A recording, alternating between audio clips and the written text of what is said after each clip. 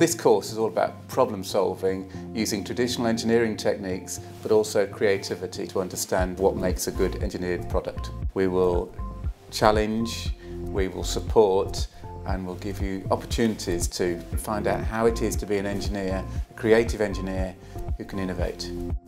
We have a smart zone that's got laser cutters, 3D printers, supported by technical support staff and space that students can work and fabricate their designs.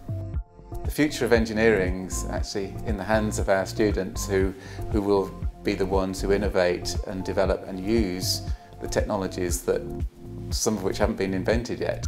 We have links with companies locally and nationally and we use those to build our courses and advise us on what they want and they've said we want rounded engineers who can communicate, can collaborate, can be critical and can solve problems.